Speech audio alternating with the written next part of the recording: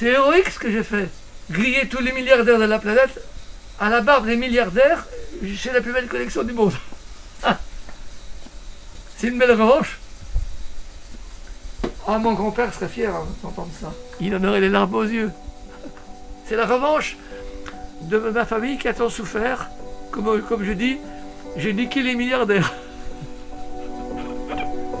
Le vin, ma collection, ça a été une leçon de vie.